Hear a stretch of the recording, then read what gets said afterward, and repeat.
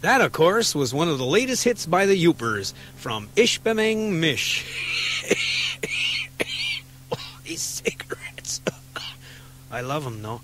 You're listening to YOOP Radio National Mine Mish, the one watt golden voice of Tilden Valley. Stay tuned next for Talk Time with Ernie Potla's boy Joe. Take it away, Joe.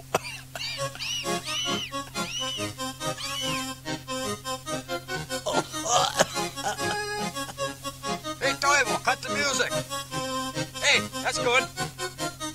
Hey, when Joe says stop, he means Good morning stop, to you all, and welcome to Talk Time on this cold, snowy, crappy, miserable, lousy day. I hope you all had a good weekend. I know I didn't.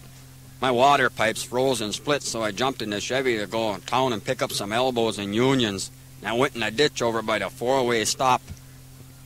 So I walked up to Woody's bar and called the wife to bring the Plymouth. So then she got stuck with the Plymouth, and I had to wait for three hours. When she finally got there and we were leaving the bar, she stepped on my hand and broke two fingers, so I never did get them water pipes fixed. Oh, well, that's the way it goes in the UP, I guess. Now let's get down to business. You got something to buy, sell, or trade? Give us a call at 4061 or 4062. And we'll be back with our first caller after this message.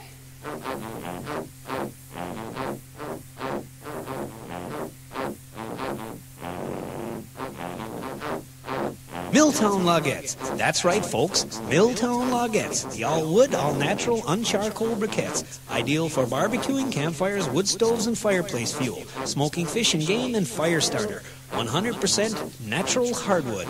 And when the party gets dull, throw a few in the toilet and watch 'em swell. Voila! Instant party crap. Fool all your friends. Scatter a few on the rug, put a couple in a chair, or leave a few next to the old turlet. Sit back and watch your friends get sick and throw up. For fun and fire, that's Milltown Logettes. Milltown Logettes.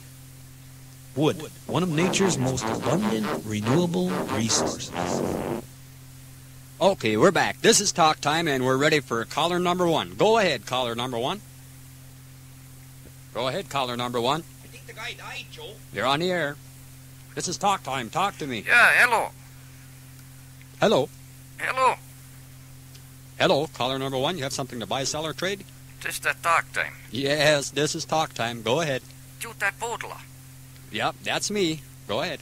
Say, I can't hear you too good. I'm calling from the neighbor's phone because that line don't come from my place. Oh, that's okay. We can hear you fine. Go ahead. You know, I, I used to play ball with your old man Ernie. He was a pretty good ball player, that guy. Yeah, yeah, that's great. You got something you want to buy, sell, or trade?